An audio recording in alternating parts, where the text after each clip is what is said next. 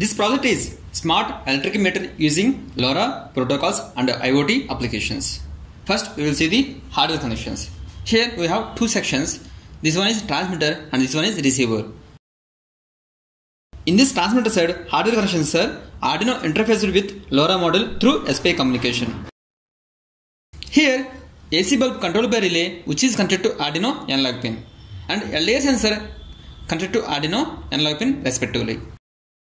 Energy meter pulses reads by Arduino digital input pin. Coming to the receiver, ESP32 Node MCU connected with LoRa. Here, Node MCU has a inbuilt Wi-Fi and it will transmit data to IoT application.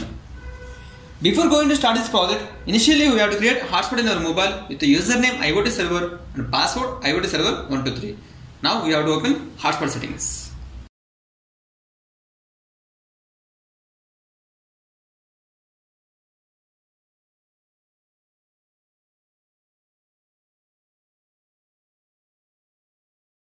We can see here network name IoT server and password IoT server 123. Save. Mobile should have internet through the SIM.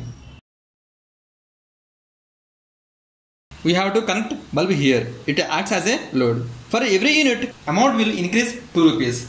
This data will transfer through LoRa and displaying on LCD at receiver side. This receiver acts as like a LoRa gateway. Now power on this.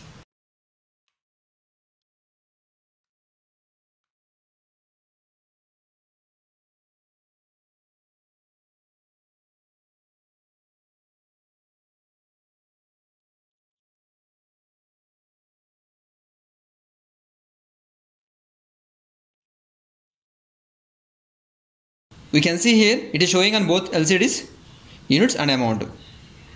Units 1 amount 2 rupees.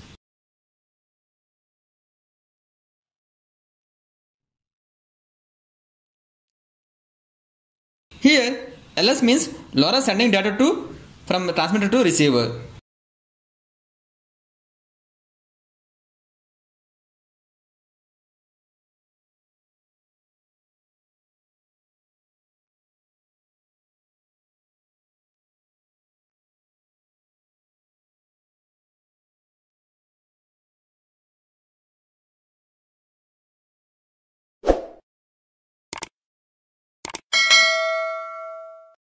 We can see here units 3 amount 6 rupees.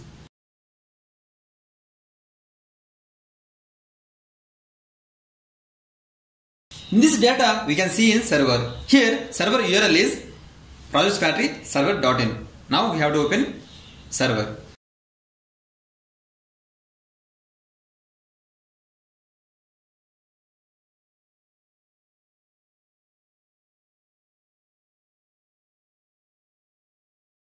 URL is project factory server.in and it is asking username password. Here username is LoRa12 and password LoRa12.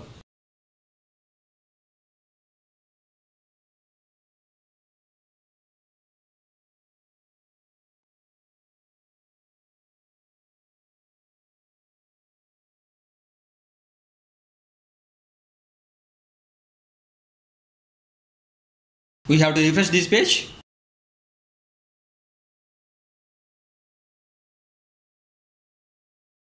Units 10 amount 20 rupees with respect to and time